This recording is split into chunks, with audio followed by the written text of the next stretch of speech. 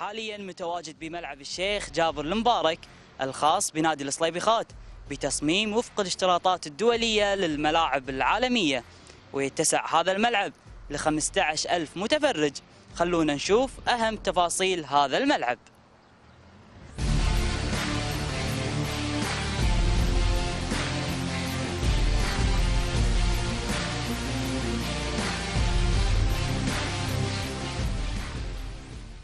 والله مميزاته إنه يكون ملعب من أول الملاعب في الكويت في هذا الشكل.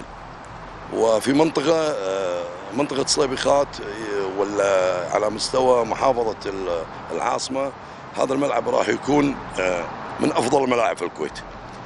وخاصة إن الملعب استبعدنا منه المضمار وهذا أفضل شيء حسب أول شيء ما شفناه من الإخوان قالوا ابعد عن وخر المضمار.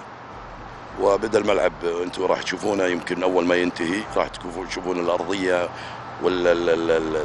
والمدرجات والشكل الخارجي راح يكون ملعب من أفضل الملاعب. ما راح يكون الملعب للتمارين أو إنه يكون حق مباريات آه، ناشئين راح يكون حق الفريق الأول والتمارين راح تكون عليه خفيفة راح نكون ننشا ملعبين إلى ثلاث ملاعب خارجية في حيث إنه التمرين والمباريات راح يكون على هذا الملعب.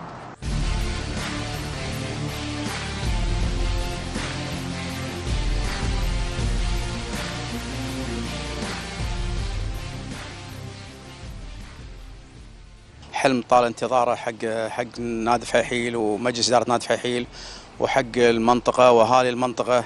يعني من تأسس النادي من عام 64 وفحيحيل يعتبر من الأندية القديمة. ما فيها ما فيها انطق مسمار داخل النادي بس فضل رب العالمين. آه الله عانا واليوم آه، شوفت عينك الحمد لله. يعني الحلم تحول حقيقة. والله هو مدة المشروع 30 شهر. يعني السن- سنتين ونص بس إن شاء الله إن شاء الله راح منا ستة أشهر المشروع. بإذن واحد أحد إن شاء الله إنه ما يتجاوز سنتين سنتين ونص بالكثير.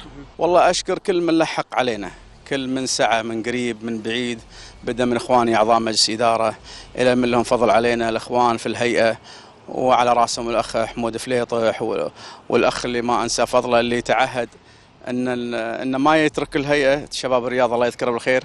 الأخ أبو سالم.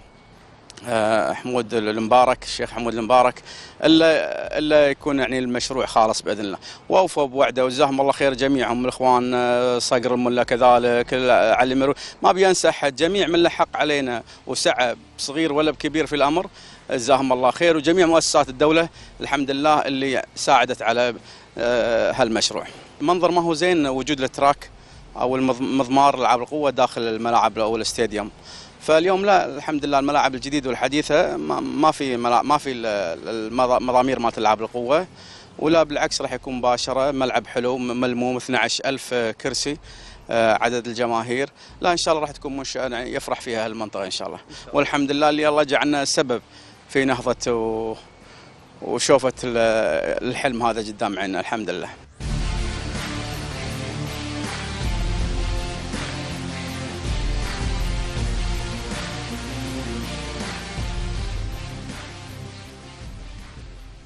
جاري العمل على الانتهاء من المنشأة الجديدة لنادي الفحيحيل الرياضي الذي تأسس عام 1964 أهالي منطقة الفحيحيل ينتظرون بفارغ الصبر الانتهاء من هذا المشروع.